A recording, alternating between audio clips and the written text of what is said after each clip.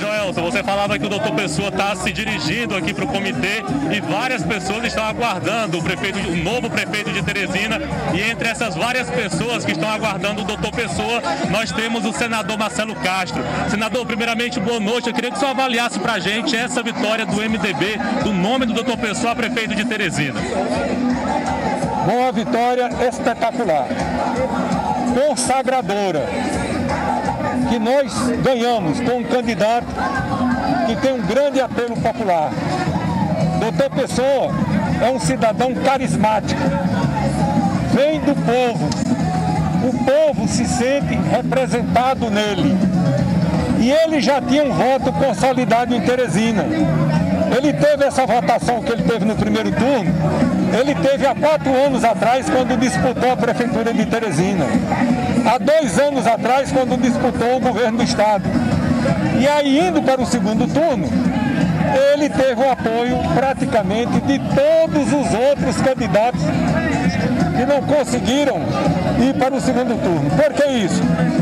Porque todos queriam mudança na gestão de Teresina. Aliás, o IBOP fez uma pesquisa com todas as capitais do Brasil. As capitais que queriam mais continuidade, as que queriam mais mudança. Teresina era uma das cidades, das capitais do Brasil, que mais queriam mudança. 64% da população de Teresina queriam mudança, só 30% queriam continuidade. E doutor Pessoa representa tudo isso. Mais o apoio do Partido Forte, bem estruturado em Teresina, que as pessoas esquecem. Mas o primeiro prefeito eleito em Teresina, depois que foi permitida a eleição em capital em 1985, foi do MDB. Nós elegemos o professor Wolfer Reis pelo MDB. Depois ele foi criado o PSDB e ele foi para o PSDB. Então, 30 anos depois, o MDB retorna ao comando da nossa querida capital Teresina. Senador, depois de tantos anos com o PSDB à frente do Palácio da Cidade, como é que deve ser a caminhada do MDB agora nesses próximos anos? À frente agora do Poder Executivo do município.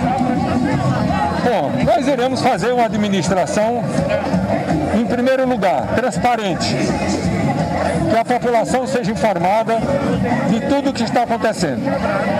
Segundo, uma administração mais humana, mais próxima do povo, mais acessível, mais presente, que o povo sinta que as ações que o prefeito está tomando são ações que vêm da vontade do povo.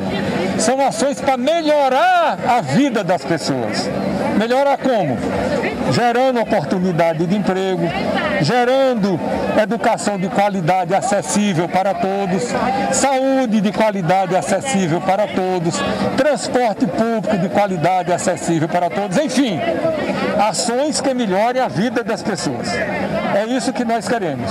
E evidentemente que isso é extraordinário porque Teresina é o maior eleitorado do Piauí. São quase 25% dos eleitores do Piauí estão aqui em Teresina, 550 mil eleitores.